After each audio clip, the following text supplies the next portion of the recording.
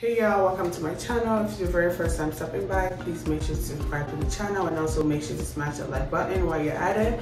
So today I'll be bringing you guys my morning time skincare routine um, for the days where I'm in a hurry to go to work or whatnot or like I don't have too much time on my hands to go like in depth to my skincare routine. These are the products I do use on those type of days and I really thought to share with you guys because it is budget friendly number one and it works for all it is great for all skin types but there's a catch. You do have to consult your own doctor or you have to do your own research. Don't just go do follow follow and do and use whatever like or anything I say in this video. Do your own research first and just find out what works best for your skin type because what works for me really and truly might not work for the next person.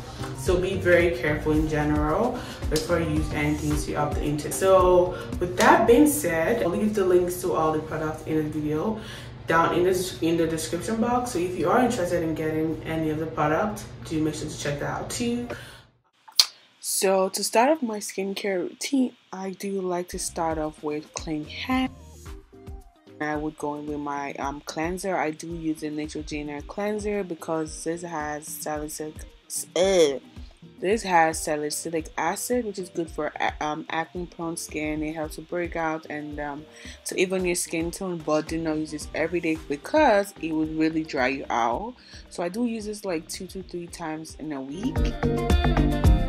I like to go with my Freeman face mask. I only do use this twice a week or whenever I feel like my face needs some, my skin needs some TLC.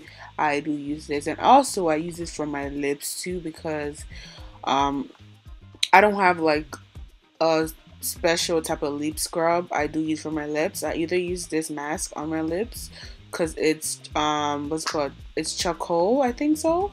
And it detoxes your skin. It's used for um, purifying and to detox your skin. So I use that on my lips as well. Or sometimes I do like to make um, like homemade um, lip mask. So this is what we're working with right now. And I'm gonna leave it on my skin for like three to five minutes. Then it would soften up the little brisk or whatever it is on the whatever it is that makes the mask kind of rough um, so I do leave it on my skin for like five minutes and then I would wash it out. So y'all gonna see how my skin been looking ooh. So after I wash my face and dry it off, I do like to, to get moisture back into my skin. I like to use this Avene thermal water spray thingy on my skin just to bring back the moisture into my skin because I, I have dry skin so I need to keep up with my hydration by after like back to back to back so I do use this every day, morning and night. And then after I go with my Mario Badescu's um, setting mist on my skin tone, I do let that dry for a while. Um, again, I use this morning and night. Depends on how I feel. So the next thing I use is my serum. I use the Neutrogena Hydro Boost Barrel. Neutrogena needs to run me some money. They need to come sponsor me, but I swear this is not sponsored. I just really like their product because it is hydrating and I do have dry skin so it tends it caters to my needs and which is perfect for me um yeah so I do like to go into every area because I like I said I have dry skin so I try to make sure the product sinks into my skin this serves as my um, hyaluronic acid um, yeah and then I go in with my niacinamide from the ordinary this product is the truth. If you have acne prone skin blemish, this works. You can use it morning and night, but the thing I don't like about this is it kind of flakes up on your skin. So you do have to let it dry out before you move on to your next step. Um, but it is a good product regardless. So you can use morning and nighttime. But you do have to let it dry else you're gonna be working around with flaky ass with flaky ass skin and you, it's not cute at all.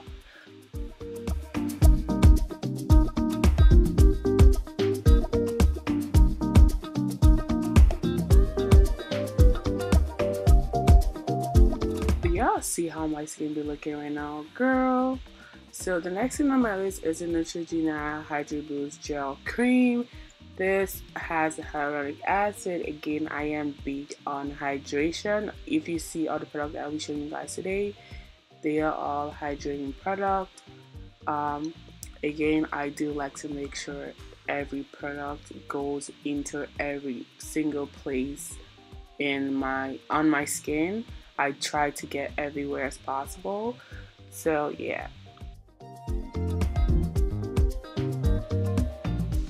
Girls, listen to me.